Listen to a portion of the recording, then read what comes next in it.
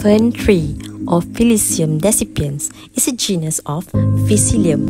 Has been found in East Africa, Madagascar, India, and Sri Lanka by Wight and Arnott in 1864 an evergreen tree with a heavy spherical crown that grows usually between 5 to 10 meter tall, which makes it a perfect addition to any place.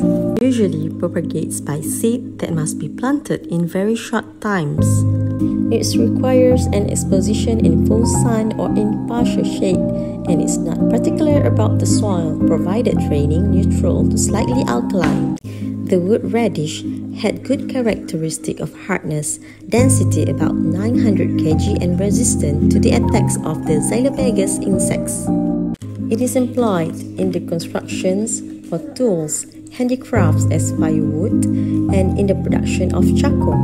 Finally, the cut leaves are often utilized in the floral compositions.